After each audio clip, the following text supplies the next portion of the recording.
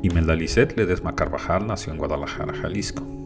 En la actualidad estudia el sexto semestre de la licenciatura en Letras Hispánicas de la Universidad de Guadalajara. Se interesa por la teoría y el análisis literario, los estudios feministas y la creación literaria, en particular la narrativa. Sus autores favoritos son María Luisa Puga, por su forma tan particular de narrar la cotidianidad, Mariana Enríquez y Samantha Schweblin, porque rescatan fragmentos de la realidad violenta y vuelven al lector hacia el horror. Juan Rulfo, uno de sus primeros autores, y Silvia Plath, tanto como Oscar Wilde. Ha recibido premios de creación literaria, como el sexto concurso literario Lubina Joven 2016, y ha publicado poesía y microficción en revistas como Vaivén, publicación del SEMS, e Imen, revista digital independiente.